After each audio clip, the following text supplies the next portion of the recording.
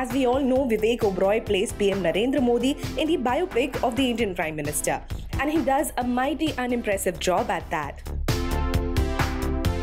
The biopic fades in front of the story of Modi, the man that we have seen in front of our eyes. The movie, as we know, traces the journey of our Prime Minister from his tea selling days to his days spent rallying for Desh and Deshwasi. The film ends with Modi taking oath as India's Prime Minister. But Vivek Oberoi couldn't have asked for a better Bollywood comeback.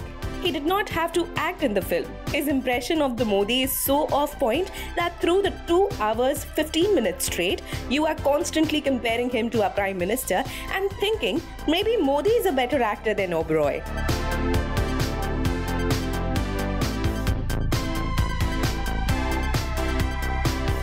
At least the Prime Minister himself speaks his speeches with conviction and can look into people's eyes and promise a Achedin and win the country for the second time. But Vivek Oberoi fades in front of Modi, the leader.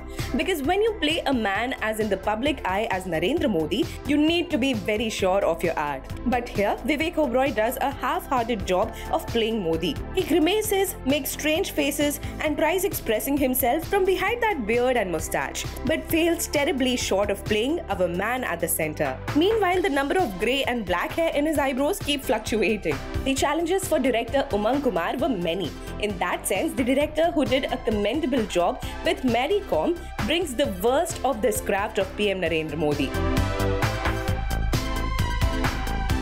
Overall, we rate this film a 1 star out of 5. What do you think? Leave your comments below and for more such updates, do subscribe our channel.